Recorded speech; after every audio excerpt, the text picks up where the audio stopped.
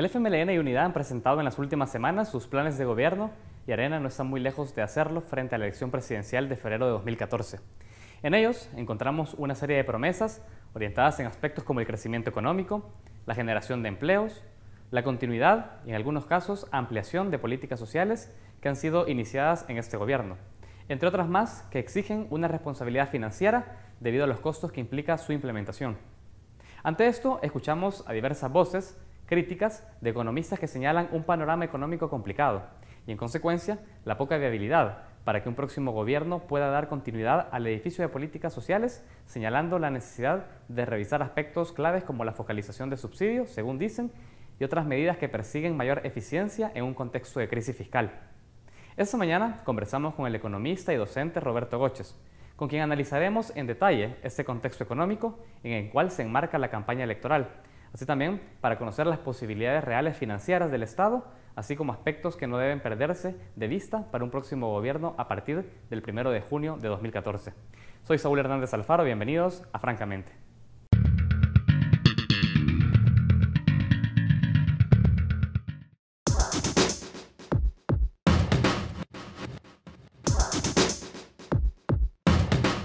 Roberto Goches es licenciado en Economía de la UCA y tiene un máster en Economía por la Universidad Autónoma Metropolitana de México. Es docente e investigador del Departamento de Economía de la UCA desde febrero de 2005 hasta la fecha. Además, ha sido consultor de la Fundación de Estudios para la Aplicación del Derecho FESPAD. Como investigador se ha especializado en el análisis del déficit comercial y sobre todo en el de los tratados de libre comercio, en especial el CAFTA. Esta mañana analizaremos las diferentes propuestas que los candidatos a la presidencia de la República han enunciado para mejorar la economía y atraer más la inversión. También hablaremos sobre el panorama financiero que le espera al próximo presidente. Estos y otros temas los abordaremos como ya es habitual, francamente. Bienvenidos a Francamente, saludamos a aquellos que nos sintonizan en este momento a través de la señal Claro en Canal 23, es a través de la señal de cable Tigo Digital en el Canal 28, también aquellos que se encuentran fuera de las fronteras del país, pero que nos ven a través de la web en www.tvx.com.sv. Los invitamos a aquellos que aún no lo han hecho también a sumarse a nuestras redes sociales, en Facebook en francamente.tvx y en Twitter en arroba francamente.tvx. Esta mañana desde este espacio de entrevista queremos abordar cuál es el contexto económico en el cual los diferentes candidatos presidenciales se encuentran desde sus diferentes palestras haciendo las propuestas de un nuevo plan de gobierno. Se escuchan propuestas muy ambiciosas, algunos hablan de ampliación de programas y queremos conocer si realmente de fondo existe un sustento, una garantía financiera por parte del Estado para poder dar cumplimiento a cada uno de estos programas. Esta mañana nos acompaña en nuestro set Roberto Goches, él es economista y docente de la Universidad Centroamericana José Simeón Cañas. A él quiero dar la bienvenida esta mañana, francamente, ya es un conocido de nuestra casa. ¿Cómo está? Eh, bueno, muchas muchas gracias por la invitación y es un gusto eh, compartir con ustedes ideas y, análisis de la realidad. Profesor, nosotros queremos, como lo, lo decíamos ya en nuestra editorial, ahora en nuestra introducción, Queremos conocer un poco con el escenario económico al cual se van a enfrentar ya a partir del 1 de junio de 2014 los candidatos, bueno, y el, próximo presidente de la República más bien. ¿Qué es lo que le espera al próximo presidente de la República en el escenario económico del país? Un poco para poder tener eh, también en cuenta si realmente finalmente va a poder dar a echar a andar esos programas que están cada uno de sus propuestas impulsando. ¿Con qué se encontrará el próximo presidente de la República en el país? Eh, a mí me gustaría subrayar como eh, cuatro cosas, ¿verdad? Que de ahí podemos relacionar otras o podemos discutir de las causas, pero yo diría que es una, primera es una economía que en términos generales eh, no ha crecido o ha crecido poco, ¿verdad? En general, si uno hace análisis de largo plazo, eso ha ocurrido, no es una cuestión de los últimos cuatro o cinco años, ¿verdad? Sino que es una, eh, históricamente, ¿verdad? Los últimos 24, 25 años el promedio más o menos han dado de 2.5 a 3%, ¿verdad? Eh, cuando crecimos mejor fue el 5%, fue antes del conflicto armado, ¿verdad? Que tampoco no nos dice que haya sido tan bien. El otro elemento que me parece importante es una economía que ha estado deteriorando constantemente las remuneraciones, los salarios. Y eso creo que es importante porque no necesariamente los asalariados son los que están en peores condiciones en el país, ¿verdad? Mm. O sea, al revés, la reflexión nos debe llevar a ver que los asalariados, ¿verdad? el grueso de asalariados que cotizan al Seguro Social, digamos que tienen todas las condiciones laborales, eh, todas las prestaciones o derechos laborales que se conquistaron previamente. Y ese segmento, que es como el 20-25% de la, de la fuerza laboral, eh, ha visto caer eh, sus ingresos reales, su capacidad de compra, digamos, ¿sí? Eh, prácticamente durante los últimos 25 años en promedio como 1% cada año. Ahora, eso eh, está relacionado porque son salarios que no aumentan, pero sí un costo de vida que cada vez es mayor. Es por eso que se va a relación. Exactamente, sí, nominalmente sí, ¿verdad? Todos podemos ver que en general, en promedio, ¿verdad? Que aumenta lo que nos pagan, pero el costo de vida aumenta y eh, cuando sacas ese saldo resulta que la capacidad de comprar, los salarios reales, si no lo dije bien, los salarios reales han estado cayendo eh, 1% por año en los últimos 23, 24 años, depende del periodo que tome. Eso creo que es importante porque es un segmento, digámoslo, que tiene todas las prestaciones laborales, ¿verdad? No necesariamente la gente que está en las condiciones eh, peores, ¿verdad? Pero es un contingente que está desmejorando y eso dice algo del otro contingente ¿verdad? de población, ¿verdad? el 80%, que no tiene derecho a todas esas prestaciones laborales. Correcto. Eh, y eh, yo diría que relacionado a este siempre, ¿verdad? Siempre eh, relacionada a esa erosión de los salarios es justamente el aumento del empleo de calidad ha sido uno de los déficits históricos de la economía salvadoreña. Solo el 20-25% de la población tiene las prestaciones laborales. Y ahí puedes verlo. ¿verdad? El resto se encuentra en un sector más bien informal de la economía. Sí, o el empleo informal, ahí podríamos discutir los nombres, pero básicamente sí, ¿verdad? En el agro, eh, pequeños productores agrícolas, autoempleados en, las, en, en las grandes ciudades, que no logran tener esas condiciones. Puede ser que en algunos segmentos tú veas que formalmente eh, ganen mejor, ¿verdad? Que un asalariado, pero tienes que tener en cuenta que muchos de esos sectores no están, no, están cotizando para pensiones, no están cotizando seguro social, no tienen vacación, no tienen el séptimo día, ¿verdad? Eh, y entonces ese ingreso nominal, que puede ser mayor que algunos, ¿verdad? Eh, asalariados, no necesariamente cuando ya saca cuentas puede ser mejor, ¿verdad? Y por ejemplo con las pensiones es un, gran problema. el, entonces relacionado a eso digo es eh, eh, justamente el, crecimiento de empleo de buena calidad no es algo que ha ocurrido en esta economía, ¿verdad? Han crecido empleos, ¿verdad? Pero no necesariamente muchos de ellos de buena calidad, ¿verdad? En el caso de la maquila. Y esa diría yo que es una segunda problemática eh, que se van a enfrentar el, el gobierno, que llegue, como se enfrentó este. Un tercer elemento, diría yo, que eh, grande, es que tenemos una economía con una inserción precaria, ¿verdad? En la economía mundial, ¿verdad? Y eso eh, tiene mucha importancia para las posibilidades de crecer y para las posibilidades de empleo y de empleo con buenas condiciones. Es decir, usted lo que se está diciendo con eso es que El Salvador está teniendo muy pocas posibilidades para poder hacer eh, forma óptima del mercado exterior. Sí, eh, si tú sacas cuentas, ¿verdad? Como algunas veces le gusta hacer, ¿verdad? A la gente que defiende lo que se ha hecho y decir, eh, pues sí, ¿verdad? Hay que abrir las economías porque entonces eh, exportamos y un dólar que exportemos es un ingreso al país. Si tú lo ves muy simplificadamente, ¿verdad? De esa manera, es claramente un fracaso, ¿verdad? Porque tiene que el saldo negativo, ¿verdad? se ha incrementado, ¿verdad? ¿Y qué quiere decir? Que lo que compramos es más que lo que vendemos y esa cantidad negativa ha estado aumentando en el tiempo. Un ejemplo es eh, de por cada dólar que nosotros generamos en la economía, 20 centavos netos se van para afuera de ella para pagar esa cuenta. Más o menos así es, para, para ilustrarlo fácil. Entonces, ese es un tercer elemento que tiene mucho que ver con los dos primeros también. Y yo diría un cuarto, cuarto elemento que es el tema fiscal, justamente. El tema fiscal me parece que es uno de los grandes problemas eh, del país para cualquier gobierno, ¿verdad? Y eh, si lo podemos ver es eh, sencillo, podríamos decir la precariedad de las cuentas públicas. o sea, ¿Qué significa, verdad? gastos altos relativo a los ingresos que tenemos. No necesariamente frente a lo que necesitamos, pero frente a los ingresos que tenemos. Se recoge muy poco, 12, 14%. Eh, del Producto Interno Bruto se recoge en términos de impuestos, y eh, los gastos eh, han ido creciendo, parte para pagar, por ejemplo, deuda, ¿verdad? parte eh, para pagar gastos de funcionamiento, y eso hace como restringir el margen de maniobra a cualquier gobierno que llegue. De acuerdo. Usted ha tirado cuatro eh, ejes por los cuales eh, muy tranquilamente podríamos comenzar a, charlar para poder ver más o menos el escenario en el cual se enfrenta el próximo gobierno. Yo quiero ir empezando con cada uno de ellos porque me parece una buena ruta, hoja de ruta para, para poder discutir el tema. Empleo.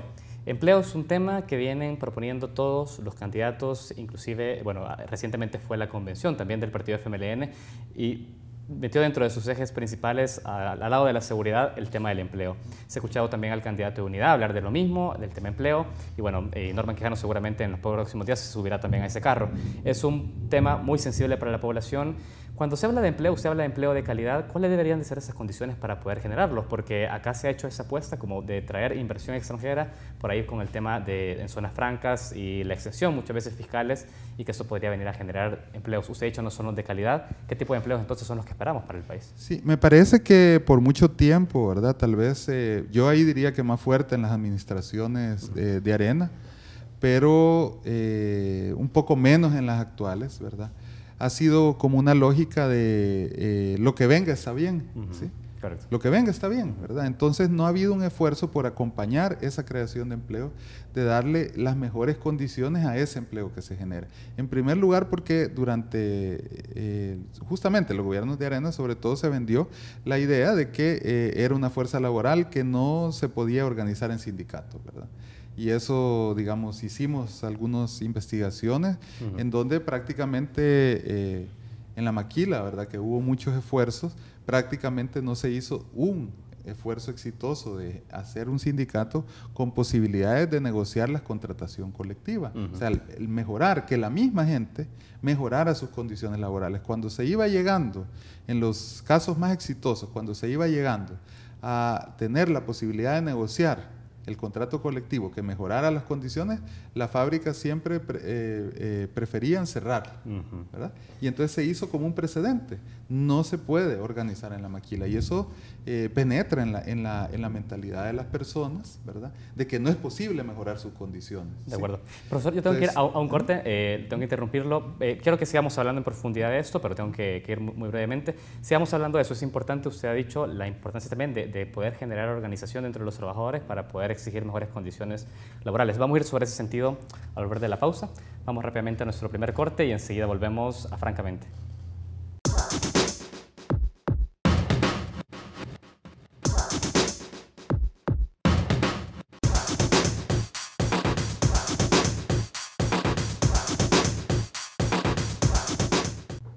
Continuamos en Francamente. Esta mañana conversamos con el profesor Roberto Goches, él es economista, y hablamos sobre la situación económica del país de cara también al próximo gobierno que iniciará el primero de junio de 2014.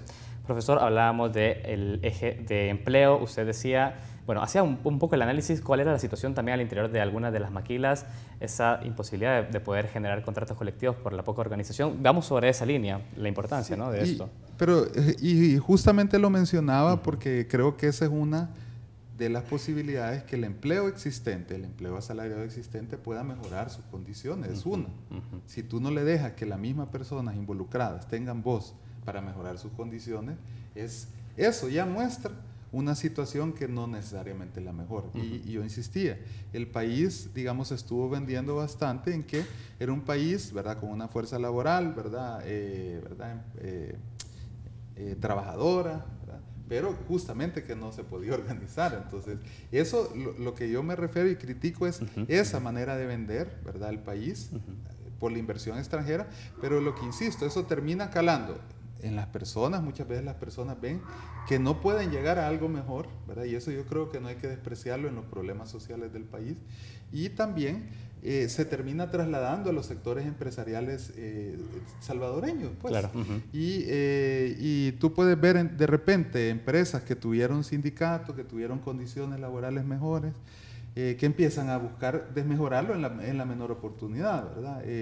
Alguna vez, creo que en un programa anterior mencioné el caso de, de Nestlé, por ejemplo, que no es nacional, pero tenía una planta acá, ¿verdad? Que echan a las personas, ¿verdad? Porque se llevan la producción de acá eh, eh, cemento, hubo un caso hace muchos años también, ¿verdad? Modernizan la planta, ¿verdad? Y prácticamente echan a la gente, incluso pagándole todas sus condiciones. En esos casos son pagándole, ¿verdad? Lo que no quieren es tener sindicato. Claro. El Lido recientemente tiene una, una pelea también muy fuerte con, con, los trabajadores de la planta. Y es eso, es la generalización de esa eh, visión, ¿verdad? El, el, eh, la la visión negativa de que los trabajadores se organicen, ¿verdad? Tal vez lo que yo diría que ha variado en el último gobierno, y eso yo creo que es importante, es eh, que cambió un poco la complicidad que hubieron antes de los ministerios de trabajo. ¿Usted cree que ahora el Ministerio de Trabajo tiene mayor eh, regulación sobre esa relación entre patrón y, empleado? Sí, ha tenido un papel mayor, ¿verdad? Ha habido eh, algún fortalecimiento de sus capacidades. Eh, creo que hubo una, una, decisión más fuerte con la primera ministra de Trabajo, ¿verdad? Con Victoria Marina Avilés. Creo que se debilitó en el, en, el, en el, ministro de Trabajo que está actualmente, pero se ha quedado haciendo por lo menos eh, cosas de que por ley le corresponde, ¿verdad? Y no es como en los anteriores, eh, gobiernos que el ministerio terminaba siendo hasta cómplice de esas, de esas eh, expulsiones. Ahora, mm. yo le decía, esa mm. es una de las cosas importantes para la gente que ya está empleada, ¿sí? Pero eso no es la única manera, digamos, de generar un empleo de calidad, ¿verdad? Claro. Sino eh, también generando actividades económicas, ¿verdad? Que tengan mejores condiciones, ¿verdad? Para generar empleo de calidad. O sea, ¿qué es a lo que le apuesta? Decíamos, en el caso del último tiempo, la maquila es prácticamente uno de los sectores que crece bastante. Pero los empleos no son de calidad precisamente. No son de calidad, pero eh, se da algo muy curioso, que si, para que veas la dimensión del problema, el sector manufacturero, ¿verdad? Que es, digamos, muy importante. Cuando tú le quitas, en el mejor momento, le quitas a toda la gente que decían que era de la maquila, ¿verdad? Resultaba que el resto solo había crecido durante más o menos 20 años en 19 mil empleos, más o menos. 20 mil, 19 mil empleos. ¿Qué significa? El empleo no maquilero, si vemos esos datos, el empleo no maquilero manufacturero creció solo en mil empleos cada año. Interesante y ahí puedes ver eh, un problema eh, que creo que no se le ha puesto atención, claro. Se está concentrando únicamente en determinadas actividades para generar empleo, entonces. Exactamente, y no necesariamente de buena calidad, ¿verdad? Y hay un estancamiento del empleo industrial manufacturero que eh, no maquilero, justamente, ¿verdad? con salarios reales cayendo, que era lo que... Yo quiero hablar de eso, del tema salarios, porque usted habla de calidad, yo quiero referirme también al tema porque se dice, acá no viene inversión al país porque no están dadas las condiciones, se habla del tema de seguridad jurídica, la seguridad también pública, pero no se, habla muy poco también de lo atractivo que es el mercado de consumo salvadoreño, porque usted habla del tema de salarios, cuando hablamos de calidad hablamos también de un aumento del poder adquisitivo de los trabajadores, eh, profesor, porque pareciera que el tema de salario no se quiere tocar, es decir, se habla de todas las variables, pero el tema del dinamismo del mercado interno no se habla. Sobre ese análisis, eh, o más bien, ¿qué análisis hace usted de ese tema? Sí, eh, a mí me parece que una característica del, digamos, de la economía salvadoreña ha sido un eh, salario eh, precario, bajos salarios, ¿verdad? Eh, para que lo entendamos así. a veces cuesta, ¿verdad? Decir eso de, de, bajo respecto a qué. Bueno, respecto a las necesidades que la población tiene, ¿verdad? Entonces, eh, una gran, un gran segmento de la población, ¿verdad? Tiene niveles bajos de ingresos que te lo refleja los niveles de pobreza, ¿verdad? Y no estoy diciendo que discutamos que si subió un, uno, dos, tres puntos, cuatro puntos por allá, ¿verdad? Y es la pelea. O sea, cuando tú tienes, ¿qué? 40%, ¿verdad? De los hogares, 50, 60 en lo más alto, pero 40% de los hogares no alcanzan a cubrir el ingreso necesario para tener los mínimos calóricos. Eso es lo que se le olvida cuando la gente se enfrasca en la discusión solo de la pobreza. Cuando no logra cubrir los mínimos calóricos o, ¿verdad? Una canasta irreal que se supone que es el doble de la, de la, alimenticia, ¿verdad? Que cubre todo lo demás, que es totalmente irreal, sin fundamento. O sea, hablamos de las condiciones de subsistencia. Por sí, la primera, la, la pobreza extrema es la de subsistencia, calorías mínimas. Correcto. Y la de pobreza relativa, que es el doble de la, de la otra canasta, eh, solo nos referimos a, una, a, algo sin sustento. Correcto. No hay un sustento que te diga por qué es el doble, ¿verdad? Es muy débil, es muy débil, digamos. Entonces, esa cuando tú tienes que 40% de los hogares, ¿verdad? O no cubren, ¿verdad? La mínimos calóricos o no cubren el doble de, ¿verdad? De la canasta de mínimos calóricos, ya te refleja que el ingreso de una gran parte de la población son bajos, ¿verdad? Porque no logran cubrir las necesidades calóricas o las necesidades que se supone mínimo. Si a eso tú le sumas, ¿verdad? Que el sector laboral, te digo, ha estado viendo disminuir su salario, ¿verdad? Eh, por a lo largo de los últimos 23, 24 años, claramente, ¿verdad? Salvo el sector público, una parte de la historia, ¿verdad? Como los primeros 10 años el público sí aumenta sus salarios reales y después empieza a disminuirlo. Entonces, si tú tienes eso, eh, podemos ver que uno justamente de los grandes problemas de la economía salvadoreña es el tema de los ingresos. ¿Cómo se ha matizado? Porque la gente se ha ido del país. Y eso creo que es importante. Y eso matiza las cosas cuando la gente envía remesas, ¿verdad? Equilibra también esa balanza. Equilibra algo eso, ¿verdad? el, el, el, ingreso, digamos, no es tan bajo como lo que sería sin remesa, pero eh, justamente te está reflejando, ¿verdad? Que por las condiciones locales, ¿verdad? Internas, nacionales, digamos, eh, la población no, no, no, no, su aspiración no es en el país encontrar unas mejores condiciones, ¿verdad? Correcto. Ahora, Eso yo, creo que es muy importante. Es importante, claro, porque... Y en promedio, y cuando, un gran, gran segmento. Claro, y a la hora también de entrar en la discusión con los candidatos sobre, bueno, cuando se habla de empleo, hablemos también de los salarios. Nos gustaría saber también, que le pudiera quedar claro a la audiencia, ¿por qué no se toca el tema salario? Es decir, porque, eh, es más, cuando se dio la discusión eh, hace unos meses sobre el tema del salario mínimo, por parte también de, algunos sectores eh, que se oponían a, este aumento, se hablaba del aumento de los costos de vida, hablaba de la inflación en, bienes y, servicios. Es decir, el gran temor a la hora de hacer un aumento salarial es porque puede venir un aumento de inflación en los productos, profesor. Ese es el, temor que se tiene. Y es válido, eh, por otro lado, que exista. Pero yo ahí le llamaría claramente... Eso, eso es claramente lucha de clase, que es una mala palabra, ¿verdad? En el lenguaje predominante, ¿verdad? Y sobre todo con la presión de la gremial. Eso es claramente lucha de clase. ¿Por qué? Sencillamente te lo digo. Los precios han estado subiendo más que los salarios. Bien. Sin necesidad de que aumente ningún salario. Sin necesidad de que los mínimos aumentaran. Los mínimos jamás han aumentado en términos reales. Cuando tú ves es una escalera que va para abajo. O sea, suben, recuperan un poquito, pero nunca recuperan lo que tuvieron antes. Entonces tú ves que es una escalera que se va, los salarios se van deslizando hacia el suelo. Entonces, ¿qué es lo que ocurre? Que en rigor no podríamos hablar de que los salarios mínimos reales, que son los que importan, han aumentado, su tendencia es aumentar. Han estado disminuyendo y eso hay que decirlo así de claro. Entonces, cuando tú tienes que en ese contexto, las gremiales empresariales hacen la presión de que no deben aumentarse los salarios, lo que estás viendo es claramente una lucha de clases. Estás viendo los intereses, ¿verdad?, del sector empresarial, ¿verdad?, que no quieren. ¿Pero por qué? Ahí yo creo que sí hay que hacer algo, ¿verdad? Fíjate bien que yo no, no me interesa tanto la buena o mala voluntad. Eso es importante, ¿verdad? El sector empresarial. Es un tema importante de, abordar. Pero yo estoy eh, ahí, en este punto sí quisiera señalar, hay... ¿Qué elementos podríamos encontrar nosotros en la realidad ¿sí? que refuerzan esa tendencia a que los salarios reales disminuyen? Eso, es un, primer elemento que a mí me parece. Y de nuevo viene, vuelve a surgir qué actividades fomentamos. Si fomentamos actividades ¿sí? que vienen de otras regiones, porque aquí son los salarios más bajos, entonces no podemos aspirar a que las condiciones mejoren considerablemente. El límite o el, el, techo es bien bajo. Si tú traes maquila textil, bueno, viene de, de, de países del norte, ¿verdad? Que quieren, las empresas quieren ahorrar costos. O sea, vienen por bajos salarios. Vienen por los bajos salarios acá. Sí, o sea, han, puesto el, Es decir, el, acceso a, las condiciones de vida de las personas como un incentivo para que puedan venir a invertir una empresa. Pues sí, pero, pero y, y, si tú promueves esas actividades, tienes el techo bien bajo, es lo que insisto. Eh, la nueva maquila, los call centers, ¿verdad? Pues sí, un joven viene, no tiene ingresos, le parece un gran ingreso, pero ¿qué ocurre? De nuevo, ¿verdad? Los call centers se vienen a estos países porque los costos, ¿verdad?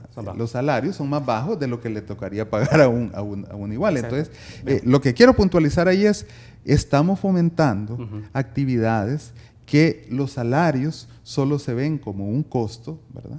O sea, actividades que tienen en los salarios un componente muy importante, ¿verdad?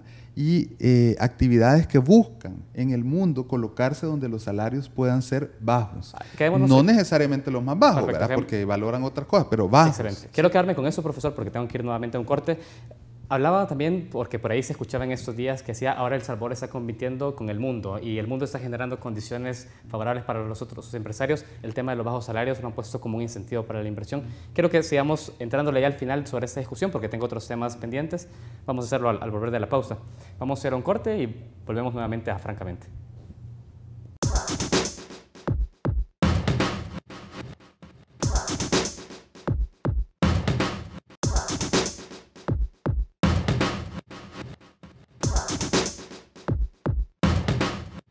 Continuamos en Francamente y esta mañana conversamos con el profesor Roberto Boches. Queremos recordarle que esta entrevista está siendo transmitida a través de la web en www.tvx.com.sv y nuestras redes se encuentran en Facebook en francamente.tvx y en Twitter en arroba francamente.tvx. Profesor, el tiempo bueno, va, va corriendo, el tema está muy interesante, pero me interesa hacer esta vinculación entre el tema de un aumento salarial, la calidad del empleo y el crecimiento del país. Usted ha dicho, hemos tenido una tendencia eh, histórica de bajo crecimiento en El Salvador. Hablemos un poco de cómo eh, el hecho de poder aumentar los salarios, y hablamos de empleo de calidad, va a tener repercusiones en un aumento del crecimiento económico del país en cuanto a sus términos porcentuales respecto al PIB. Se lo pregunto porque después vamos a entrar en la discusión sobre las propuestas de los candidatos. Entonces, ¿cuál es la vinculación entre ambos? Sí, eh, me parece que hay que tener en cuenta, a pesar que el país tuvo, siempre ha tenido bajas tasas de crecimiento, en que cuando no teníamos una economía abierta estuvimos creciendo más, a ah, pesar de que sea menos. Por ejemplo, en el periodo previo a la guerra civil, del eh, 70, 60, ¿verdad? Eh, las tasas de crecimiento fueron del 5%, hubieron algunas mayores, ¿verdad? Pero en promedio fue el 5%. Y en cambio, en este periodo, que la liberalización ha sido muy importante, el crecimiento ha andado por 2.5 al 3% más o menos. Entonces, esto eh, nos muestra algo que hay que explorar más, pero eh, señala algo que me gustaría enfatizar y es, si nosotros, ¿verdad? Tenemos un universo empresarial, atrasado, ¿sí? en términos generales. ¿Qué, implica que sea atrasado? ¿Qué atrasado? Eh, con eh, eh, pocas capacidades competitivas, pero para no poner, porque eso se ocupa como batallito, caballito de batalla, Para, para, poner lo que se quiere. Baja competitividad significa la poca, ¿cómo te diría? desventajas en términos de costos y calidad de bienes, ¿sí? Y oferta, oferta de producción. ¿sí? O sea, si tú no tienes costos más bajos que tus adversarios, tú tienes una baja competitividad. Si tú tienes además eh, inferior calidad, tú tienes baja competitividad. Y si la oferta exportadora, o sea, la cantidad de bienes que tú produces también es poca, también tienes una baja competitividad frente a otros. Esos factores, esos elementos que yo estoy diciendo de competitividad, ¿verdad? Ventaja o desventaja, ¿verdad? De, en esos elementos puede influirse por muchas cosas, que no, digamos que es muy largo y ahí hay un, debate muy fuerte. Pero esos elementos, si tú tienes una economía atrasada, entiéndase, eh, no inferiores costos, ¿verdad? No eh, mejor calidad, no una oferta grande de bienes que nosotros producimos y tú abres esa economía, lo que ha ocurrido es justamente lo que nos ha pasado, que es que las importaciones vienen más de lo que nosotros exportamos fuera del país. ¿sí? Eso hay que verlo en términos de también de generación de empleo, posible y efectiva. ¿A qué me refiero? Que ¿Por qué tenemos que traer de fuera cosas que se podrían producir? Eh, eso le quería preguntar, porque en realidad cuando se habla por parte del sector empresarial se dice cómo se va a crear empleo si en realidad no viene inversión de afuera. Usted ha dicho, no ha sido la mejor estrategia el hecho de abrir el mercado, pero entonces ¿cómo se genera empleo? le pregunto, ¿cuál es la solución entonces para generarlo? Yo diría que una de esas, si tú quieres hacer una estrategia realmente para generar empleo, es la regulación del comercio internacional. Nadie está hablando de poner una muralla china, ¿verdad? Y hacer autarquía, ¿verdad? Porque es con lo que le responden a uno. Estamos diciendo de regular. ¿Por qué tenemos que traer una serie de bienes que nosotros podemos producir acá? O sea, tú podrías regular, o sea, pero ¿por qué tenemos que tener abierta la economía? O sea, usted lo que dice, por ejemplo, es que podría comenzar a producirse una industria nacional que pueda proveer unos servicios que están importando ahora. Eso generaría empleo. Sí, sí. Es eso. Sí, o sea, acompañado de otras medidas, pues de una política industrial, ¿verdad? Tomando en cuenta los, fallos que tuvo la estrategia previa, ¿verdad? A los, a, los a la guerra civil, ¿verdad? La, la, estrategia de industrialización. Pero en ese periodo yo llamo la atención, que crecimos más, ¿verdad? Entonces, yo creo que es muy difícil para los candidatos justamente, ¿verdad? Sí cumplir con las promesas de generar una gran cantidad de empleo de buena calidad, le insisto, ¿verdad? Si tú tienes una economía que está abierta y que se está abriendo más, quieran o no quieran, ¿por qué? Porque tú tienes tratados de libre comercio que están operando hasta 10, 15 años más, que van a eliminar a cero los impuestos a la importación, o sea, va, va a ser más abierta nuestra economía, con las principales economías que nos relacionamos. O sea, tiene la primera, Estados Unidos, ¿verdad? La eh, Centroamérica ya lo tenemos, ¿verdad? La tercera sería la Unión Europea y podrías meterle por ahí México, que tampoco es tan grande. Entonces, si tú tienes una liberalización generalizada, si tú tienes además tratados de libre comercio, eso no se corresponde con una estrategia de generación de empleo, teniendo en cuenta que tú tienes un aparato productivo, un sector, ¿verdad? Industrial atrasado respecto al mundo, ¿sí?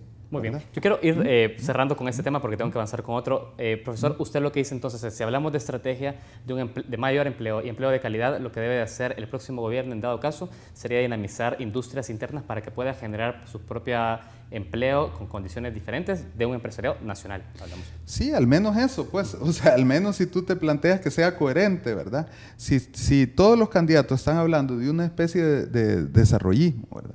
De generar capacidades de empleo acá, tendrían que lograr potenciar justamente la industria que está localizada acá, ¿verdad? Entonces, para generar empleo, ¿verdad? Y yo creo que hay algunas actividades que, que pueden eh, mostrar, ¿verdad? Pero es mínima. De acuerdo. Eh, la, de, la de los uniformes, quería señalar, ¿verdad? Para que, decirte un ejemplo. ¿Cuál ha sido la estrategia del gobierno de los uniformes? Que se hagan acá eso podrían haberlo hecho fuera, más rápido. O sea, lo podrías tener tal vez hasta el día siguiente viniendo de una de las grandes maquilas de, de, un país eh, como China o de, otro país. Pero ¿qué hicieron? No, hagámoslo acá. Eso ha implicado atrasos, ha implicado una grandes problemas en los primeros años, pero pienso que lo importante es que han logrado, ¿verdad?, reactivar una cierta, ¿verdad?, producción nacional de uniformes, por ejemplo. Pero eso es una gotita en el mar. De todo lo que hay que hacer. Dentro de todo lo que gaste el gobierno. Pues, bueno, justamente, ¿verdad? Yo quiero eh, saber eso. Es decir, con una estrategia de este tipo, ¿usted cree que podría llegar a, crecer el 2.5 del crecimiento a, no sé, poder llegar a un 3% del Producto Interno Bruto respecto, eh, eh, digo, en términos porcentuales, si se quiere ver de ese lado?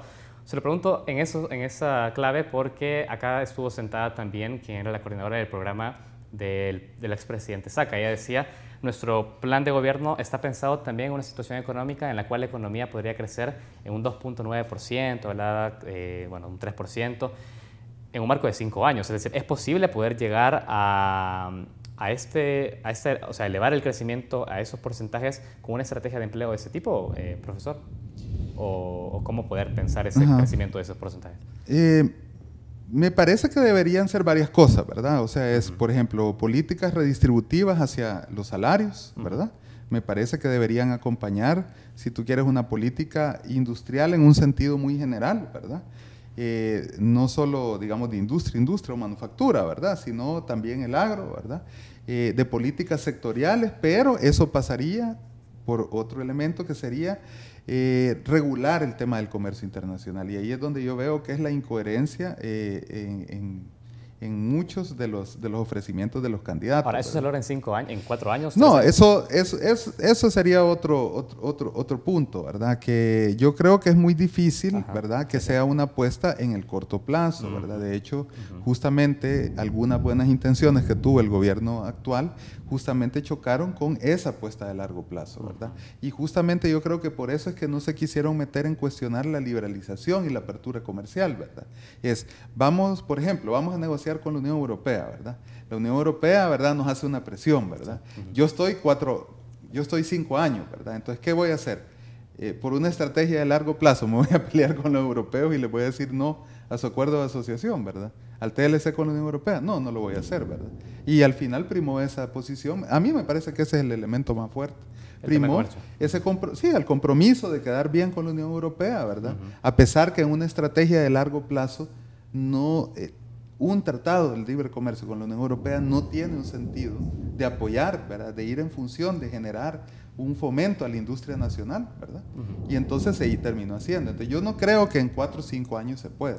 Requeriría mucho más tiempo, pero diría esos elementos al menos que te, que te estaba comentando. Solo para cerrar, entonces con ese análisis que usted acaba de hacer, es imposible que eh, muchas de las políticas que se están eh, proponiendo puedan cumplirse en el marco de los próximos, bueno, a llegar el 1 de junio de 2014, dos años después, porque tendría que ser un cambio, eh, una apuesta a largo plazo. O sea, en conclusión podemos decir que nos están mintiendo los candidatos cuando hablan de un crecimiento del 2,9%. Me parece que sí, que sus buenas, pero que sus buenas intenciones van a chocar con las realidades, y es ahí donde quiero señalar. Ah, digamos, yo no me voy a meter, digamos, a jugar qué es lo que tendrán en, la mente, pero cuál es su motivación, ¿verdad? Lo que digo es que las realidades los va a hacer chocar si con su considerando que fueran buenas intenciones. De acuerdo, esa es una muy buena reflexión, profesor. Yo tengo que irme a un corte. Eh, vamos a ir eh, entrándole también, ya es el último bloque que tenemos. Hay otros elementos que, de los cuales hablar sobre crecimiento. Vamos a hacer al volver de, de la pausa. Vamos a un corte y nuevamente volvemos a Francamente.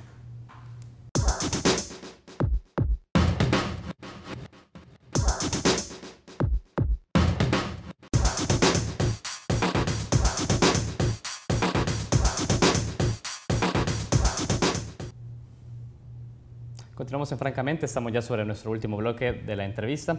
Profesor, eh, yo quiero hablar ahora, bueno, hemos más o menos eh, identificado por dónde vienen los, principales retos para un próximo gobierno.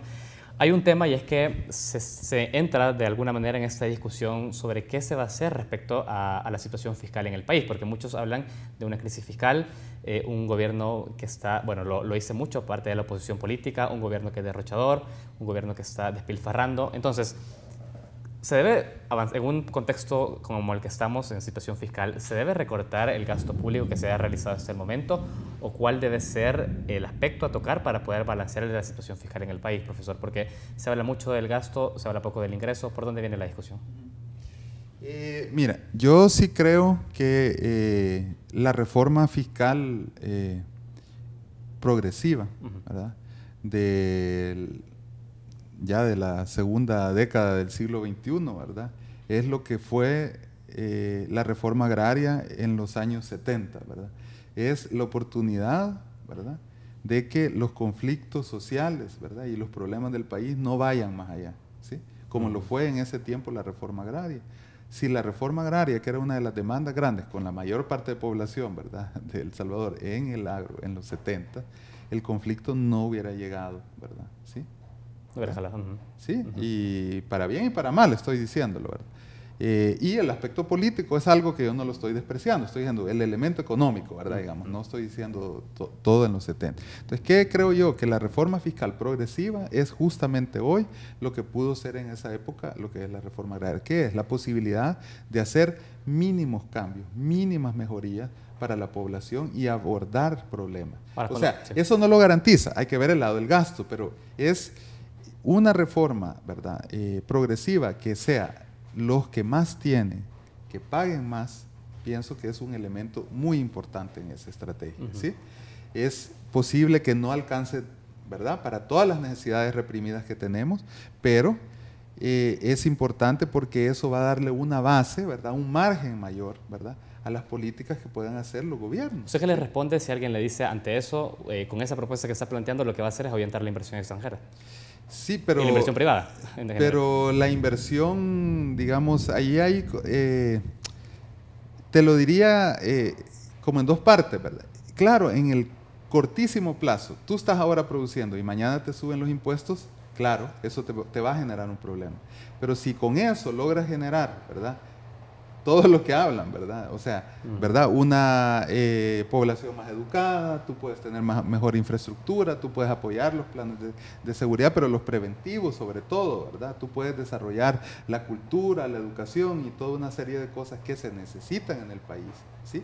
Empleo, ¿verdad? Tú puedes promover programas de empleo, entonces ¿verdad? Lo que tú pierdes en ese momento, tú lo puedes recuperar teniendo un entorno más favorable. Y eso es lo que yo creo que el, sector más poderoso de este país... No lo ha visto apuesta. No lo ha visto, pero, pero hay algo importante, para no caer en una ingenuidad que yo le he criticado en otra, otras veces.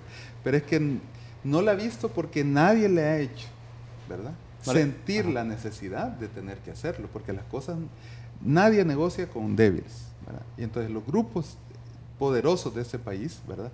No han visto nadie que los obligue a hacer esas cosas. ¿Que un gobierno fuerte está hablando? Es un gobierno fuerte, por ejemplo. De acuerdo. Nadie, nadie. Entonces, Excelente. eso yo creo que es una de las cosas importantes. Entonces yo diría, una reforma fiscal progresiva, o sea, sí recoger más impuestos y más impuestos de los que más ingresos tienen. Es decir, queda descartada bajo esa lógica un aumento del IVA como ha propuesto el Fondo Monetario Internacional. Eh, yo, exactamente. Si no hacemos eso, lo que va a entrar es el IVA eventualmente. Si tú tienes un gobierno de derecha no se va a tocar, ¿verdad? Eh, mucho, ¿verdad? Eh, ¿verdad? No va a pensar mucho, ¿verdad? Al cabo de un año decir, bueno, antes de que lleguen las otras elecciones, vamos entonces a meterle, ¿verdad? Y el IVA lo van a subir. Yo estoy muy seguro. Un gobierno de izquierda tendría más conflictos, ¿verdad? O sea, pero si no hace una reforma fiscal progresiva, fíjate bien, ¿verdad? Las realidades, ¿verdad? Lo van a llevar a que tenga que ser algo. Aún así, es decir, si hablamos en, esos términos derecha e, e izquierda, arena y, unidad no han hablado, bueno, bien, han, expresado que no piensan aumentar impuestos y no piensan aumentar el IVA. Lo han dicho ahora en campaña. Usted entonces pone en cuestionamiento ese tipo de promesas también. Sí, porque cuando tú tienes un impuesto, ¿verdad? Que está en una amplia mayoría, ¿verdad? Y la gente a veces tiene también memoria corta, que pasó, ¿verdad? En, los 90, ¿verdad? Cuando subieron del 10 al 13% el IVA, ¿verdad? Entonces yo pienso que en algún momento de necesidad lo van a considerar. Yo, yo pienso eso, ¿verdad? Es, es, claramente una especulación, ¿verdad? O sea, estoy, ¿verdad? Eh, diciendo lo que podría ser en base a lo que me parece que es la apuesta. O sea, frente a la necesidad de aumentar impuestos, la derecha no tiene ningún problema en decir, bueno, aumentemos el que, eh, cae en la mayor parte de la población y no afecta directamente la ganancia. De acuerdo. Profesor, yo quiero tocar con ¿Ah? usted eh, un tema eh, también que, es importante antes que, el tiempo se, nos venga encima, y es el hecho de que algunos economistas dicen para el próximo gobierno hay que comenzar a pensar si se focalizan algunos subsidios en el país, hay que revisar las políticas sociales porque puede estar existiendo un despilfarro en, la aplicación de esas políticas. Quiero escuchar su análisis sobre esto. ¿Es necesario hoy en día en el país hacer un análisis sobre los subsidios y sobre la política social que está impulsando este gobierno actualmente? Se lo pregunto, porque los tres candidatos han propuesto continuar con una política social, pero de fondo hay economistas que tienen mucha incidencia dentro de la construcción de estos programas que hablan de revisarlo. ¿Usted es del pensar de que hay que revisarlo o que hay que continuar con, con esas políticas? Eh, mira, yo diría que hay que revisar la manera de hacer los subsidios cuando tú tienes por medio empresas privadas. ¿sí? Pero, o sea, no tanto es por la idea de focalizar, es más bien eso. O sea, el Estado, ¿verdad? En el, o sea, tú tienes un Estado que vende algunas actividades, ¿verdad? O, eh, por ejemplo, la distribución de energía eléctrica. Y después viene y plantea que va a subsidiar a la gente, ¿verdad? Entonces, eso es me parece una cosa que sí requeriría revisar. ¿Qué sentido tiene tener un intermediario privado? que, ¿Qué quiere el privado? Ganancia. ¿Cómo qué casos habla? ¿En qué está pensando cuando habla de ese tipo de intermediación privada de, subsidio? Ah, ¿Está pensando en un caso concreto? Eh, no, te diría, por ejemplo, el gas, pues. El gas. El gas. El gas te diría que para mí es el ejemplo más claro, ¿verdad? Es una actividad, ¿verdad? Que hay privados en medio, ¿verdad? Que tienen, ¿verdad? Que desean obtener ganancia, pero no cualquier ganancia, es la ganancia máxima posible, ¿verdad? O más, por lo menos que la tasa de interés. Entonces tú tienes a través de ellos dando subsidios. Entonces ese...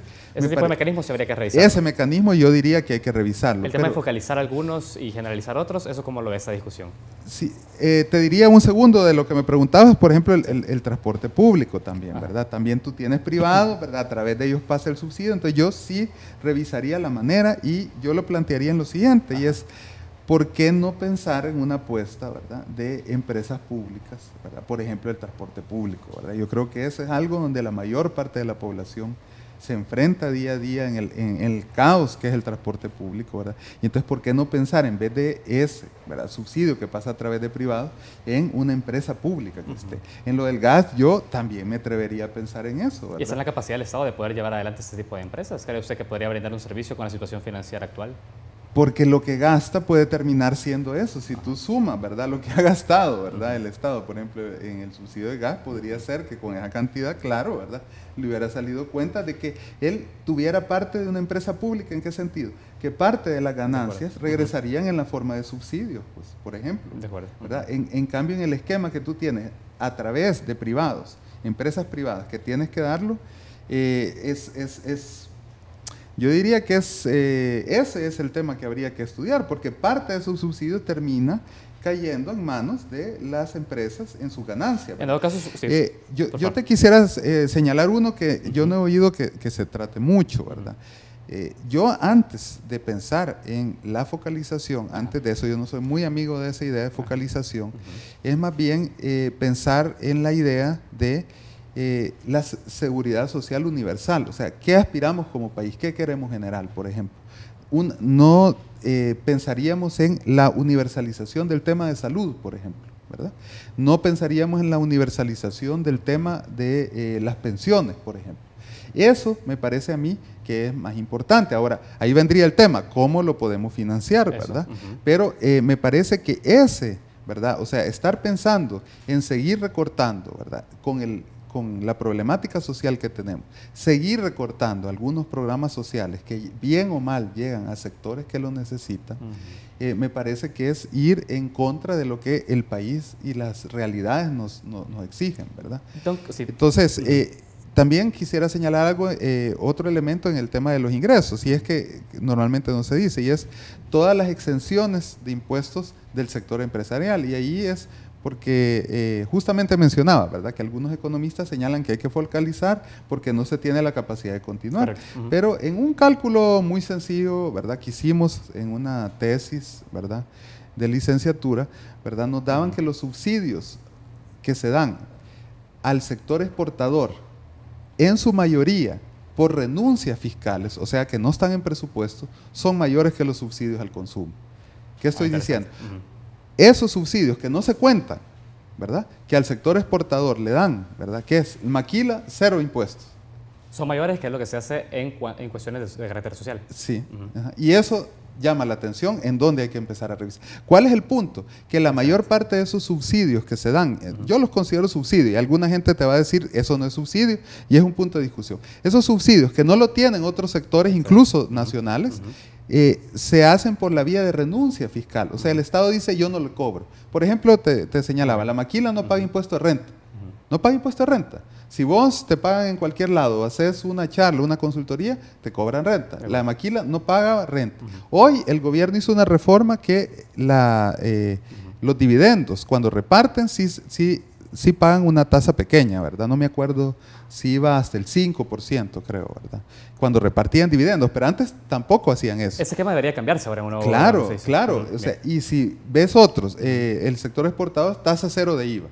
¿sí? Bien. O sea, ellos pagan, ellos no cobran IVA, entonces saldan y el saldo es favorable a ellos, entonces ellos cobran ese saldo. Excelente. Profesor, tengo que ir eh, cerrando con la entrevista, disculpe que hay que, tener que interrumpirlo de esta forma, pero eh, necesitaría también sus últimas eh, reflexiones, porque podríamos seguirlo charlando durante mucho tiempo más, pero quizás para poder cerrar entonces con los análisis que usted ha hecho tanto en cuanto a, mm, al tema de la visión, qué hacer con el comercio exterior, el tema de la, de la política social, el tema del crecimiento del país, cuáles deberían de ser entonces esas cuestiones que no deberían dejarse de lado a la hora de hacer una propuesta en estos próximos meses, que se va a venir una campaña incluso mucho más agresiva de la que hemos conocido hasta ahora. ¿Qué debe ser énfasis el próximo candidato, un candidato presidencial que aspira a la presidencia en materia económica? Entonces, eh, profesor, para poder cambiar esta dinámica y generar un crecimiento efectivo y dar cumplimiento a esas políticas, ¿cuál debe ser entonces esa apuesta? Eh, yo diría, bueno, que alrededor de los problemas que hemos estado tocando, ¿verdad? Diría yo, una estrategia de redistribución, pero en busca de la mayor equidad, porque ha habido una redistribución, pero inequitativa. La búsqueda de una mayor equidad, o sea, en favor de los salarios, creo yo que es un elemento central para una estrategia de empleo por ejemplo, para una estrategia que mejore las condiciones de vida. El segundo elemento, cuestionar la liberalización que se ha hecho. Si la liberalización no se cuestiona, si los tratados que están todavía operando con, ¿verdad? Para, para llevar más liberalización en el tema del comercio, por lo menos, eh, no se cuestiona eso, pienso que es muy difícil, ¿verdad? Una política industrial. De acuerdo. Un tercer elemento, yo diría, es una política industrial, ¿verdad? Excelente. Eh, que estuviera, ¿verdad?, amarrada con una redistributiva, con cuestionar la liberalización. Entonces, una política industrial de desarrollo, ¿verdad? Eh, en el sentido amplio industrial estoy usando, o sea, de desarrollo del sector agropecuario, sobre todo buscando el tema de la eh, soberanía alimentaria, ¿verdad? Pero también algunas industrias buscando, ¿verdad?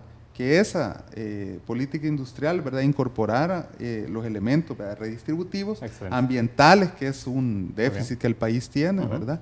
Y eh, diría también un cuarto elemento, diría yo, ¿verdad? Es que podríamos ubicarlo en la política industrial, pero es un fomento de las actividades de economía popular, economía solidaria. ¿A qué me refiero? Actividades que la misma gente hace y que ha hecho en sobre, para sobrevivir y para enfrentar ¿verdad? la situación de exclusión que tiene. Esas actividades me parece que son un elemento central, podríamos ubicarlo ¿verdad? en la política industrial, pero tal vez señalándolo fuera se queda, eh, queda más claro. ¿Y qué es? Cualquier gobierno, sobre todo un gobierno que busque ¿verdad? transformar ¿verdad? la sociedad, siempre se enfrenta que el sector empresarial ¿verdad? es concentrado en pocos, ¿verdad? En pocos grandes empresarios poderosos con capacidad de hacer temblar a cualquier gobierno. Con eso podría diversificarse y dar mayor capacidad. Sí, pero no, yo no menciono hacerle otro sector empresarial, fíjate bien, porque eso nos va a llevar a la larga a que, pues sí, vea, se vuelva a concentrar. Todo, pues sí, que se vuelva a concentrar porque el capitalismo concentra. Es más bien eh, fomentar esas actividades asociativas populares, ¿verdad? Eh, de sobrevivencia, ¿verdad? Excelente. Que para que las cosas le lleguen a las personas. y eso creo yo que serían eh, cuatro elementos muy importantes, para poder ver una mínima mejoría. Y ahí, ahí yo quiero, quiero tal vez eh, señalar. Ya tenemos el tiempo ahí limitado. La mínima ah. mejoría que nos estamos refiriendo es por lo menos aspirar a generar un desarrollo interno que fue lo que se pretendió en la década de los 70 y nunca se logró. de acuerdo. Profesor, tengo que dejarlo con esa última reflexión. Eh, seguiremos, por supuesto, invitándolo para que sigamos profundizando sobre otros temas que han quedado pendientes. Por lo menos nos ha dejado muchos elementos para poder seguir analizando las propuestas de los candidatos. Tengo que despedirlo y agradecerle su tiempo esta mañana. Muchas gracias por la invitación. También a ustedes que nos acompañaron durante esta mañana, les agradecemos eh, su presencia en Francamente. Les recordamos que esta entrevista será transmitida nuevamente a las 11 de la noche en Canal TVX y también podrán encontrarla en nuestro de YouTube. Los invitamos a seguir en sintonía de la programación de este canal. Muchas gracias.